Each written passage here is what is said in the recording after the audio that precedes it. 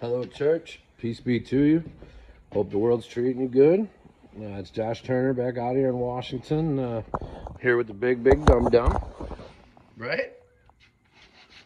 Good job, buddy. Good job. You're a very good boy. That's a good dog. So I've got a situation that comes up every once in a while with this big dummy. Um, and every once in a while, so his breed is the English Mastiff. Sometimes their eyesight, as they get older, it doesn't go so well, and they get worried about things they can't see too well. So his whole life he's been he's been doing one thing, and now now he's he has a hard time with it, right? So let me show show you what it is. The dreaded dog door.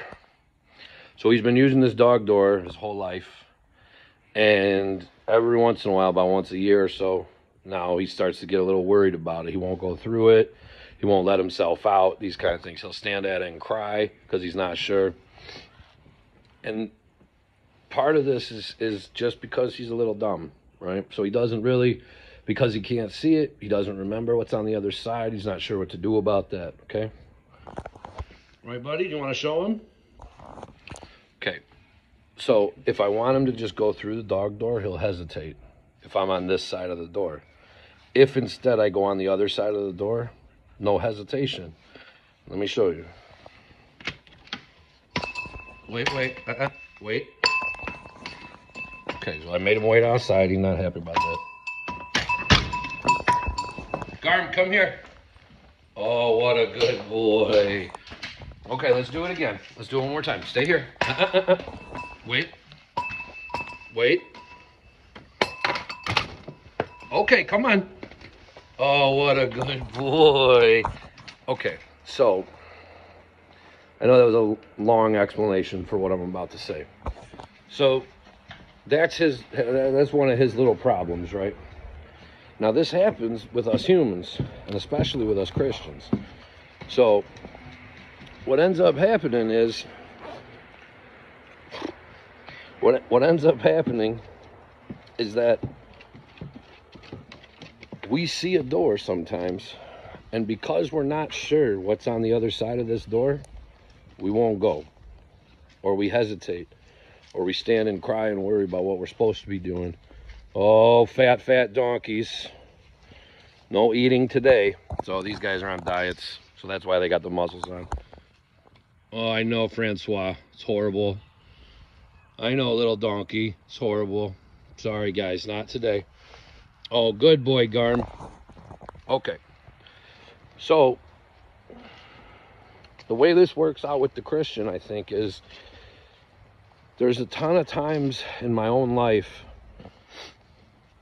and my close my close brothers in Christ can attest to this, where I've wrote to somebody and said, you know, I feel like God's calling me to do something. I just don't know what the something is.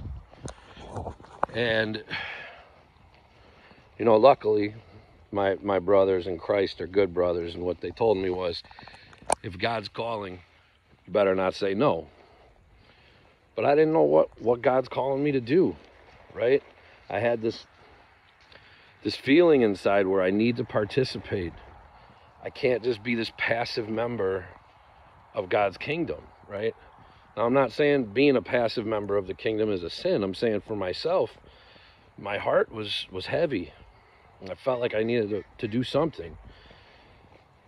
And I did this a little bit when I was younger. So when I was about 21, I opened up a Christian tattoo shop, right? Because that's I, I wanted to participate. It didn't end up working out. I mean, I had to close it down, but we did what we could while we could. But so for so long, I was waiting for the correct the correct way that I was supposed to participate with God in this in this kingdom that he's got, right? and it took a prompting by somebody that was just a hey, could you say hello? And when I was willing to do that, the Spirit took me and said, okay, talk about this. This is what I'm putting on your heart. And when I said it, and I recorded it, and I sent it away, That's when these videos were born. These Just Josh videos were born because I needed to talk.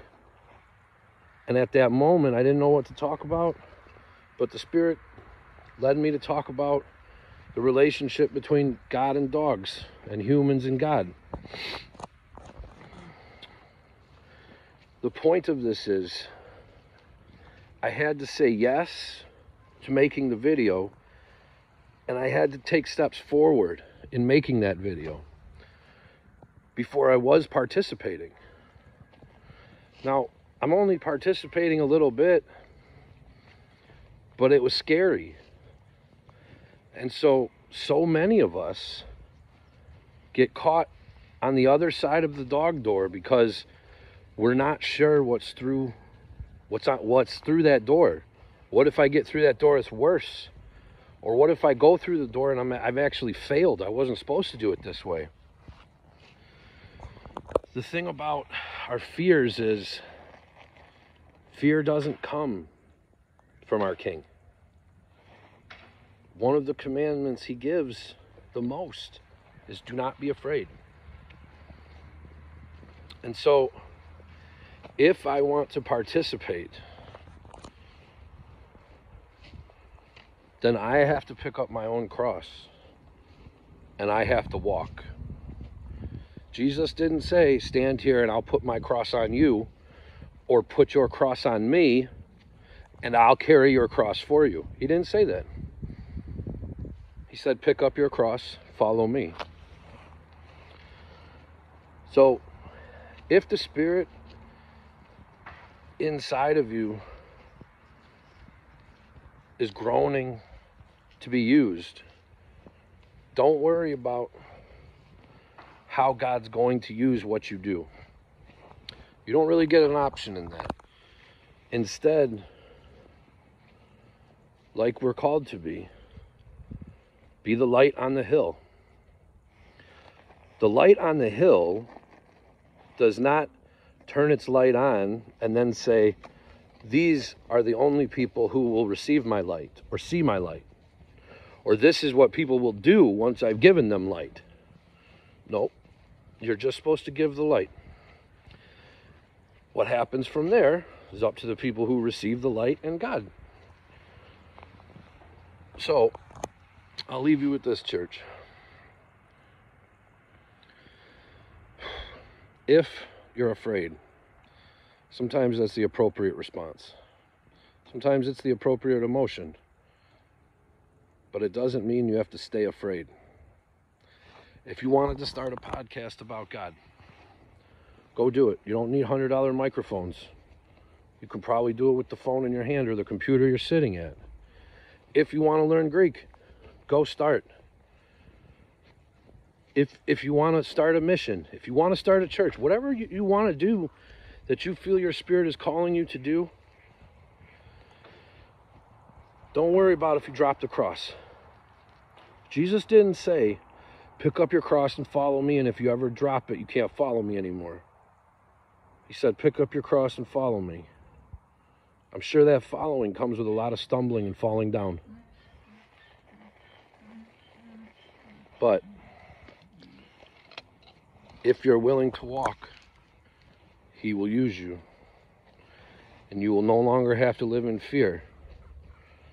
Now, if you have expectations of what it looks like once you start participating, you should throw them expectations out because God doesn't work too well with your expectations. He doesn't care how you think this should go. He wants you to participate in Him being the King. Participate. Do that thing, whatever it is. And don't worry. Read the scripture. Do what your spirit's telling you to do. Step out. Go through that dog door. Your master's waiting on the other side to say, Welcome in. He wants you to participate. Don't think the educated people should participate more than you. Don't think the preachers get to participate more than you, or the song leaders, or those who know Greek, or whatever it is. You get to participate as much as you are willing to participate until God tells you no more.